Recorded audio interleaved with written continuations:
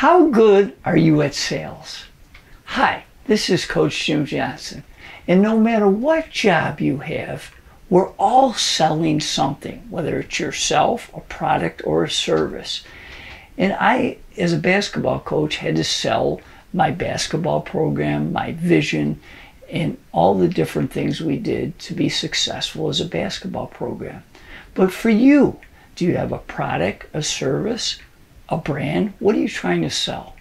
Well, as many of you know, I'm a very avid reader, and recently I read this book by Lee Salz called Sell Different.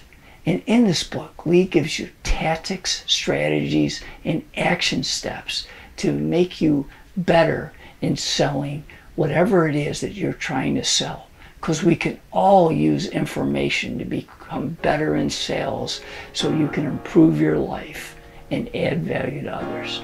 I highly recommend you go out, find this book, whether it's Amazon or a bookstore. It'll be worth the read. Thanks.